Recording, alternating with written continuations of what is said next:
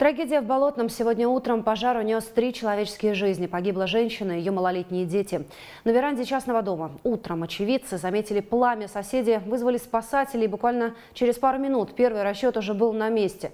Огонь в само жилище не проник, но помещение заволокло дымом. Из-за высокой концентрации угарного газа мать скончалась сразу. Малыши по дороге в больницу. Мальчику и девочке было 2 и 4 года. Течение 7 минут а, было ликвидировано открытое возгорание и еще около часа потребовалось для полной ликвидации пожара. А, пожар составил 20, э, площадью 27 квадратных метров.